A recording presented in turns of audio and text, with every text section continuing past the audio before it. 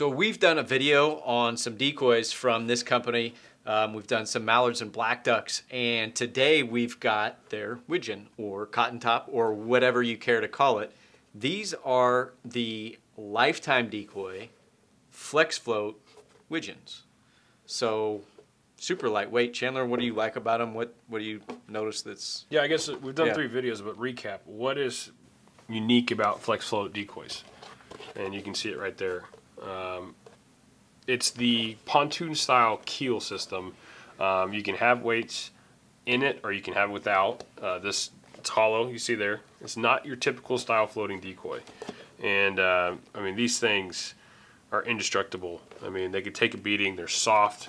You know, they're malleable. They're they're a different material than most. So there's a lot of really cool things about these decoys. And then they they put one heck one heck of a carve and paint job on all of the decoys they've come out with, which Lifetime is pretty fresh to the game, and they've came out swinging.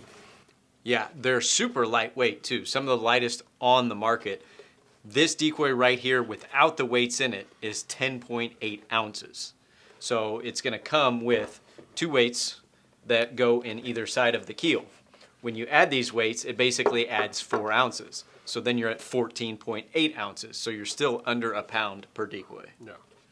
What's the pack come with? I mean, what's is it? A, is a six pack that comes with? It's going to come with two hens. It's going to come with two of the rester drakes and then two of the, I guess you could say, active or high head drakes. Yeah. So yeah, if you have, if you haven't seen or pulled this up so you guys get a better look, um, really nice quality. Uh, the hens look great. If you guys haven't seen the detail on those, a little bit smaller, but they're just super lifelike looking hen decoy. And then he's got the rest right there. You've seen a couple times.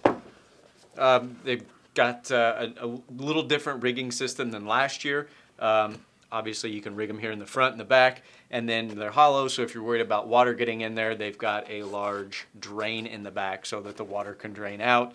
Um, but other than that, I mean, these things are going to be able to take pellets. It's not going to sink them. Correct. Um, so they're a great decoy. YouTubers, first things first, subscribe button. Chandler, where is it? There. in the corner, hit that subscribe button because this video came here to YouTube first. So, if you want to know as soon as we put videos out and you want to see them before anybody else gets to see them, subscribe to our YouTube.